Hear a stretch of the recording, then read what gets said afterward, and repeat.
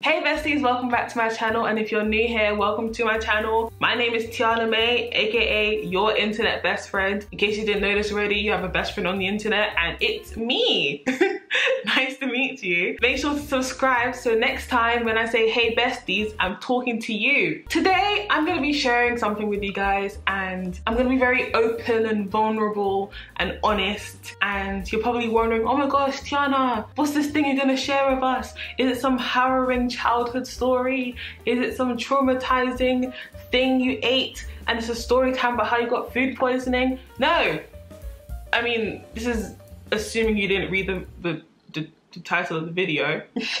But today I'm gonna be talking about my art. I'm gonna be sharing some of my sketches, my Procreate library, and also some photography. And I'm gonna be telling you the meanings behind some of my pieces and just showing like my creative growth over the years and throughout ups and downs in life and mental health and how it kind of came out in my art. So let's get right into it. I'm really excited. Firstly, let's talk about my sketchbook. Here is my sketchbook. I've had this sketchbook since the 23rd of May 2020. But going into my sketchbook, we're met with the very first page, which is basically just a bunch of scribbles. Whenever you get like a blank piece of paper or a blank book, it's always a lot of pressure to put your pen on paper on the very first blank page. This one guy recommended that when you first get a sketchbook, the very first page should be the page where you just scribble on because then you don't have any anxiety for anything else in the rest of the sketchbook to be perfect. I thought that was a good philosophy. So I just did a bunch of scribbles and just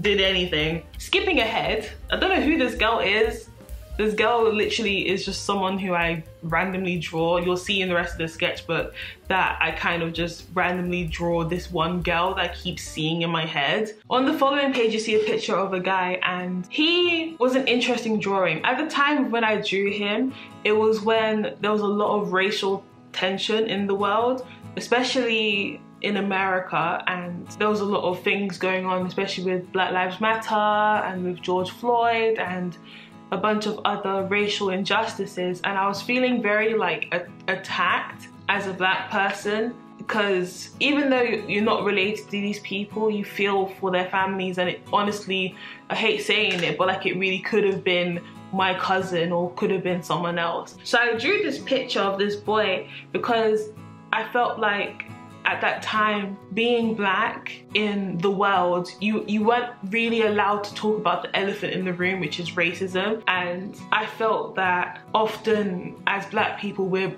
forced into silence because we can't exactly say that oh this institution is racist or we can't say this politician is racist or this thing is oppressive or anything about anything. We can't really say anything. And I thought that by drawing how I saw things, it would like help me process my emotions at the time. On the following page, less serious, is a bunch of like random cartoony stuff and I just thought that they were cute. And I was learning how to draw chibi style and I really enjoyed the chibi style, but it's very difficult. Next, we have a bunch of things about proportions. So the head tilting upwards, looking left and right. I was really trying to learn how to draw people I don't know why I was so obsessed with drawing people, but I thought it'd just be interesting to learn how to draw people. And then we have a bunch of noses. And then also I did, I did the same with eyes. Here we have an interesting picture. It's that girl we keep talking about that I keep seeing in my head. But here she looks a bit more haggard. Her hair is a bit like all over the place. And she kind of looks like she's seen some things or maybe she's been through something. Her hair is like all mashed up. So maybe she was like running through a forest or something. This is me just trying to give her a narrative. Here we have a very interesting page. Now, I should say this before anyone comes for me in the comments being like, oh my gosh, why are you talking about all this rubbish stuff? It's all rubbish, your art's rubbish. The thing is, yeah, my art is my art and it's what I create and what I like and what I do. And when I think back to when I was in Korea and I was learning about the early Koreans and their drawings and about cavemen and their drawings, they were literally crushing up berries, getting a piece of wood, getting a piece of stone and hitting it against the wall to try and like document and show things. How is that any different to what I do? You know, I'm just a person who's in this universe, same as them, who is just drawing and scribbling things to try and portray something or release some kind of emotional feeling or anything. And I, I, really love art for that because there's some people who are kind of like art snobs and they're like, oh, well, that's not nice. The, the, the composition and the and the color scheme is. I don't really care. I don't really care about people's opinions really of my art to say that it's bad. If you have an opinion of it in regards to like the meaning, that's great. But I feel like with this page, it may look like a bunch of rubbish to some people, but to me, it kind of shows the willingness to kind of talk about something. It's like me expressing chaos, like the chaoticness of my, my brain. It's essentially just a a big blob of self-expression. As someone who is such a perfectionist, seeing chaos in my work is actually quite interesting. It's like the, the yin and yang of my personality that I'm a perfectionist in regards to most things, but when it comes to like my art and stuff, there can be elements of chaos and darkness. On this next page, you see a flower and I really like this flower because it's not quite as beautiful as most people expect like flowers to be drawn. It's such like a, a scratchy and almost aggressive drawing and yet it represents something that is soft and smells nice and is beautiful and how it grows and it points to the sun. I really like it. If someone wants to get a tattoo, there's a cool tattoo I feel. but it might be a bit complicated for the tattoo artist now that I think about it. And on the next page, I don't know why I wrote poetry in this book because obviously I don't know if, if you know this about me but I write poetry. I'm currently writing an anthology for myself. I started writing in 2019 and I'm still like adding to it but I guess I should technically type these up or maybe like scan them. And here I have a poem which is very short but it says, do you see me for the star I am? Or am I just gas and dust to you? And I really like this because it makes you really think about how you view people because how I view one person can very much differ to how someone else views them because stars are made from cosmic dust and gas and random things and they all form together and atoms and all these things. And from a scientist point of view, from like an astrologist, is that the right person?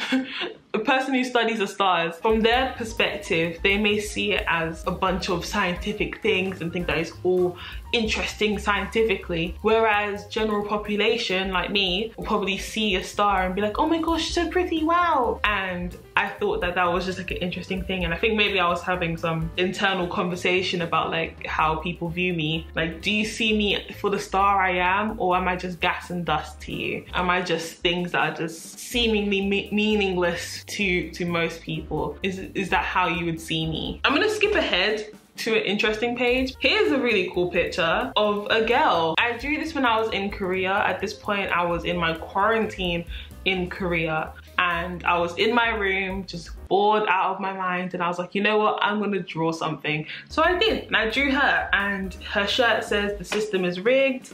She has purple hair. She's giving very much Gen Z activist and I don't know I really like her. I, I like her eyes I think I'm really proud of her eyes and her eyebrows. On the following page, we have a similar face to the one I just showed you, but with her, she looks a bit more pouty. And maybe she's actually a continuation of the girl from before with the haggard hair. She looks a bit more happier. Maybe, I can't tell if she's smiling. She might be smiling, is giving Mona Lisa. And on the following page, we see a kind of version of the previous person, but also this person is very much inspired by SZA. She kind of looks like SZA in, in the way that her hair is long and she's wearing a crop top and baggy trousers. It's very SZA-ish of her. I drew a three in her chest, like a, like a tattoo of a three in her chest because three is my favorite number and I just thought it looked cool. But I'm, I'm, i really like this. I, I wish I gave her a name. I don't have a name for her. Maybe you guys can name her in the comments. And here we get to one of the most interesting pieces of work that I've done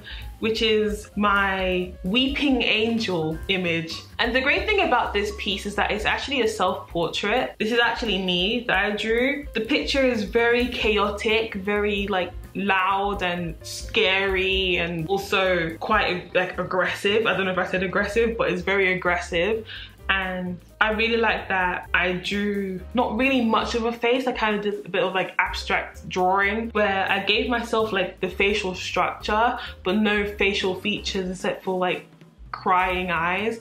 And I want to interpret this as the eyes crying blood. And I thought that like me being portrayed as an angel but that I'm crying is a very interesting imagery. I think the reason why I'm interpreting it as someone crying blood is because in the Bible, when Jesus was praying, they said that he was praying so hard that he it looked like he was sweating blood or he actually was sweating blood.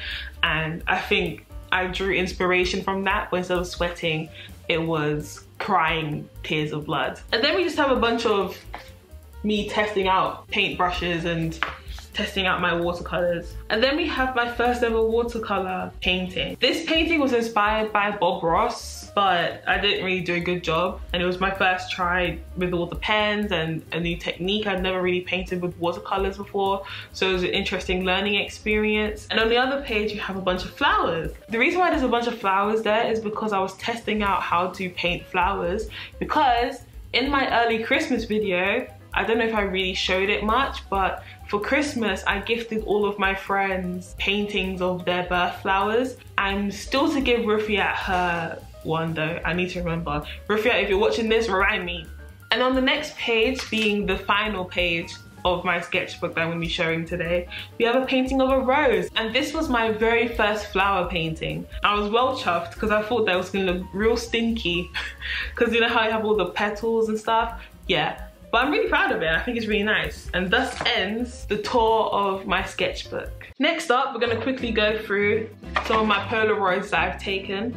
I recently got a new Polaroid camera. I don't know where it is, I will show it to you, but it takes square images. I took some that I really like and I would like to describe the meaning to them. If you were in my live stream the other day, which you should be, I live stream on Fridays on YouTube and on Saturdays on Twitch. All the information is down below. If you were in my live stream, you would have seen a lot of these photos. But the ones I'm gonna be talking about today are ones that I've taken in Leicester. First, we're going to talk about this image of some Wotsits and the story behind this is mainly inspired by Andy Warhol because I was watching his documentary on Netflix, thank you to friend who shall not be named, and I was like, oh my gosh, I really understand why he did like the soup cans, did all the Coca-Cola stuff, the Paramount stuff, like I understood it, it was like uh, almost like criticizing and also being observant of society and American consumption. And I had just eaten some Wotsits and I was like, you know what, I'm gonna take a picture of this. So I remember the documentary. It kind of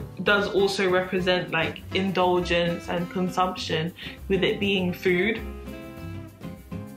you know? Next, we have a picture of the sun and when I was taking this picture, I was just looking outside and it was a really nice sunrise was it sunset? I think it was a sunrise. It was a sunrise. It was early in the morning. It had been a while since I had seen a sunrise because I'd been in kind of like a, I wouldn't say a, a depression, more like a depressive episode where I was sleeping until like 10, waking up for class, doing my class, going back to sleep, waking up at 2, and then missing the sunrise.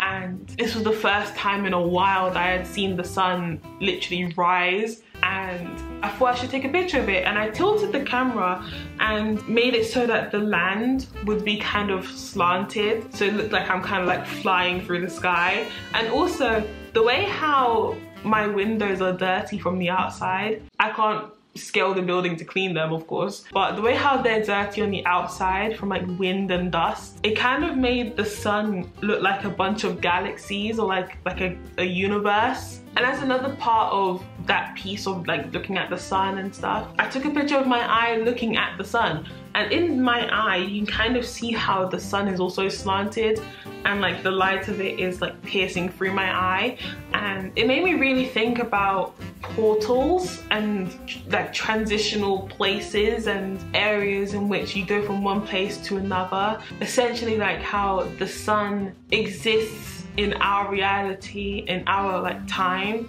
and in our like space but then we can't go to it. The only way to go to the sun would be to cross the portal, which is the sky. And I just thought that like eyes are known as the windows to the soul and like windows are also a type of portal. So I thought it was also really cool to take a picture of my eye looking at the sun which is on the other side of a portal, through a portal, which is the window, through another portal, which is literally my eye. I just thought it was really cool and kind of like moody as well. Alongside that, the next day, there was a really nice just sky in general and the clouds were looking extra fluffy and I was really appreciating how like fluffy the clouds looked and it made me think back to that whole thing about like the sky being a portal and portals of clouds and you know just just just portal things you know just portal things. And I just took a picture of the, the sky of the, the two fluffy clouds that I saw and I just thought it was cool. And that's like the the Polaroids I wanted to share with you guys. Before we move on to the next part of this video I want to show you something that I did on stream also which was this and this was a watercolor painting that I did on stream. And it's like like physically like a canvas kind of thing. And I thought I would share it to you guys as a part of the like the body of work On top of sketching and doing watercolors, I also do digital art.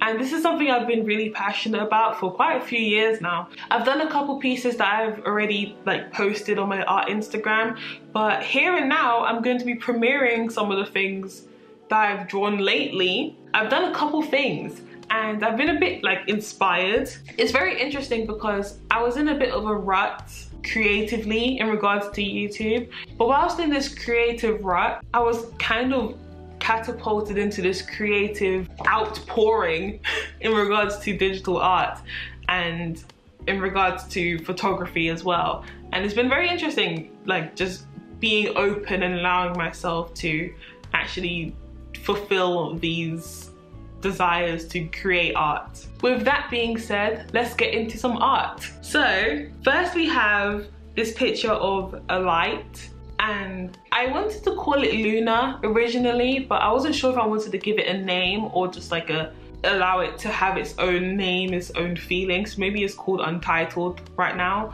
but I really like this because whilst it is literally just a thing that kind of looks like a light in the midst of darkness. It also kind of radiates like peace and obviously with it being a light in the midst of darkness, it shows that maybe that there is, you know, the whole thing of like a light at the end of the tunnel. It, it gives that vibe of there being something, there's a glimmer of hope, there's the tiniest speck of light in the midst of darkness. So even your darkest moments that is never truly as dark as it is because there's always a glimmer of of light. There's always something there to like hang on to or to seek peace from. And I don't know I just really like it. It's my background currently on my iPad and every time I see it it brings me joy. Next, I have this unfinished piece, which is a bridge in Korea. I'm currently doing, I think it's an acrylic painting or maybe an oil painting digitally. And I really like it because it's a painting of a memory of a day that I had a really great time. It was the day that I went to the aquarium in Seoul, well, uh, an aquarium, not the aquarium. and I had a great time. And it was also the day that I coincidentally posted the same pictures as RM because it was raining in Korea and I took a picture and posted it and it was in black and white. And like a minute later RM also posted the same picture and I was like oh my gosh not, not us being twins got twin now you know? And it was just like a funny day just seeing like my friends be like oh my gosh don't you posting the same picture as RM like literally at the same exact time? And it was just funny I don't know next up we have a very beautiful painting that I titled Serendipity because I was listening to BTS's Jimin's Serendipity when I was painting it and I just felt that it kind of encapsulated how that song felt to me and I really like the paint splashes. I love the different textures of paintbrush. I love the water effects. I do that sometimes where I either listen to a song or I am feeling something and I just express how I feel or how the song's making me feel onto the canvas and I just let it be and that's just how it was or how I saw it in my head. And this is how I saw Serendipity. Next up, as many of you guys know, I have a love for cheesecake and this was my very first cheesecake, a painting of it and I recently finished it. I think this, there can still be stuff added to it. I wouldn't classify it as unfinished, but more as something that's a work in progress. I literally have been working on this painting for months now just scribbling every time I'm in the lecture, just trying to like add to the sketch behind it, but also add to the painting on top of it. And it's just been great. It's been really peaceful actually, like working on this and using it to help better my mental health. Next, we have a, a, drawing painting that I like to call Masquerade. And at the time when I was doing this, I was feeling very upset with myself because it felt like I was very upset and depressed internally and sad internally. But I would do my face up, you know, smile for the camera and be happy. And I felt that this encapsulated that feeling of, you know, when you have to kind of put on the mask in order for people to accept you or be happy around you or not interrogate you about your current feelings and stuff. And I just felt that I had to put a mask on in order to kind of survive day to day. And I was going through a lot of stress in regards to uni and in regards to just overall life and the pandemic and everything. And it just felt that I had to pretend to be okay. A lot of people feel this way where they're like the strong friend or the strong family member. And a lot of people don't check on them and make sure that they're okay. Or if they do it's kind of like like we already have the mask built onto us where we're kind of pretending that everything is okay. And that's like how I felt. Like it felt like I was putting on a mask, putting on an identity of this person's okay, don't look here, she's not crying, definitely she's not crying. And yeah, that's my that's that's the painting masquerade. Masquerade, masquerade, how do you say it? the next painting is a self-portrait and it's a painting that I recently posted where it's actually a picture of me inside of a bathroom on my birthday taking a picture. I just thought that I should remix the photo and make it my own. The painting is also kind of a commentary on the artificialness of how we capture data, how we capture images and art and things like that where it is very artificial because if you really think about what this image is, it is a static image of me holding a phone, pointing a phone's camera at a mirror to then take a picture of what's in the mirror, which is me holding the phone with the camera pointing at it, but basically myself. And it's, it's very much like a, a commentary on that and that's reflected in how I've like scribbled out my face, how I've altered the image a lot, I've flipped upside down, I've crossed my myself out, I've ruined my face, I've distorted, I've painted over, and I wanted to point out how artificial photos really are and how they can be easily manipulated. And I don't know, I, I really like it. I, I, it's kind of inspired by Basquiat as well because when I was watching the documentary, I was seeing a lot of his work and I, I've been inspired by him before in some other pieces that I've done and I thought it would be great to kind of lean into his like neo-expressionism and kind of loud outbursts of creativity but also his calculated outbursts of creativity and yeah I, I just thought it was cool. With this painting it's very interesting. I actually can't remember how it started. I think it started off as some stripes that were just going all around the page and I kind of just let myself feel how I wanted everything to move. I love that freedom that you can have in art where you can just do anything. It doesn't have to follow a certain stroke pattern or a way of doing something or it doesn't have to be as rigid as some other like expressions of creativity. With art, you can literally just do anything and I pushed things around, I altered the colors, I changed the texture, I moved things around, I listened to music, I looked at it from different directions. Underneath it is a bunch of scratchy like black painting of like different kinds of like textures and movements and it has its own story, one that people can interpret and take for their own and, and draw their own conclusions. But for me, I see a bird.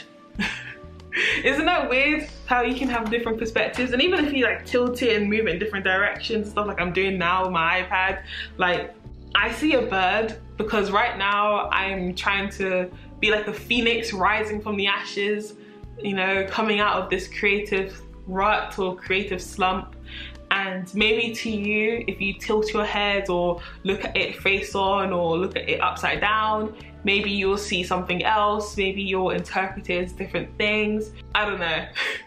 But i just really like how paintings and my work makes me feel and how it allows me to express how i'm feeling at the moment and how it can then be later translated and interpreted as something else Next up, we have an image that has multiple faces and multiple color schemes. And if I was to ever do a gallery type thing, it would have multiple images of the thing, but in the different color schemes that I have. And it's basically this person with really big eyes crossing over some water and walking in front of some grass that kind of looks like fire the sky is all warped and all over the place and zigzagging and like melting into each other. And it basically was to be like you know the song wade in the water? Wade in the water wade in the water children wade. It's supposed to be wade in the water but like kind of a weird take on it where it's a bit more intense whereas like this this scary looking character is crossing over the water and maybe it's like me. Maybe to interpret it, it could be like it's me crossing the water me crossing over something or overcoming something or maybe it's even more scarier than that of like like something evil coming towards someone or I don't know like this, I feel like with this painting, it can be interpreted in so many different ways. I haven't really given it an official title, but when I was painting it, I was thinking of wading in the water and like stepping into like the River Jordan or something, but it can be interpreted in so many different ways and all, all interpretations of my paintings if you have any in the comments down below they're all valid and I appreciate them all because it allows me to see different perspectives of my art and yeah I just, I really like it. I love how in the different colors, like versions of it, there's also different meanings and different perspectives. And I just thought that was a cool way to kind of do art. And then this final piece is what I did literally like two days ago, maybe. It's originally four pictures of some grass that I took in Jamaica in 2017 when I was there last. And it's been completely altered to be almost like a Rorschach test. You know the the blobs like that psychologists use when they're trying to like tell people's minds and stuff like how they view things is basically an interpretation of that but also not really. And even in that it is also a Rorschach test. In it being not one it also is one. And I really like it. I like the colors of it. I love the texture of the grass but it also kind of comes into this almost marbling texture and I just really love it. I love this painting. If I could have it framed, I would. It's so like, like it's such a thing to look at. I could get lost in it for hours, I feel. I feel like I could get lost in it for hours. But yeah, this concludes my art tour of my sketches, of my photography, and of my Procreate library or gallery technically is the right word for it. I hope you enjoyed this video. Let me know if you want to see more art videos. Maybe I can do a painting with tea. That would be cool. Where I like do a watercolor or maybe do some acrylics or an oil painting.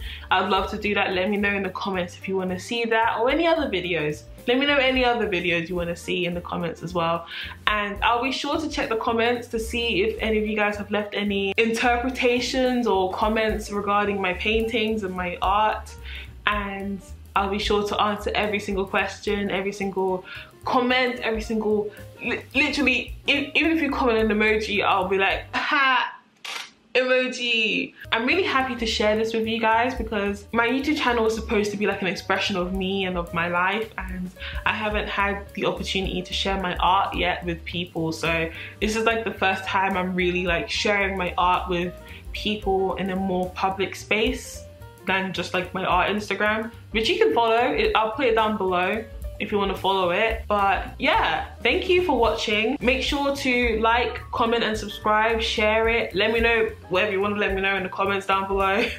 Be kind, drink water. I love and appreciate you all. Thank you besties for being here and thank you Communitee and wider YouTube audience.